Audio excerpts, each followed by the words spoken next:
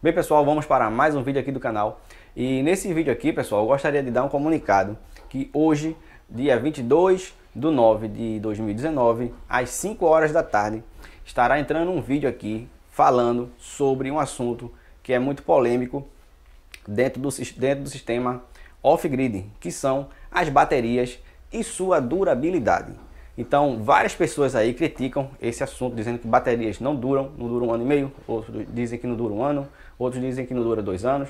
Então, hoje nós vamos mostrar aqui um vídeo, eu e o meu amigo William São Gonçalo, que já tem esse sistema já há um bom tempo, e nós vamos estar dando aqui dicas é, sobre tensão de flutuação, tensão de equalização e outras coisas mais, para que suas baterias durem por mais tempo possível, ou seja, quatro anos ou mais.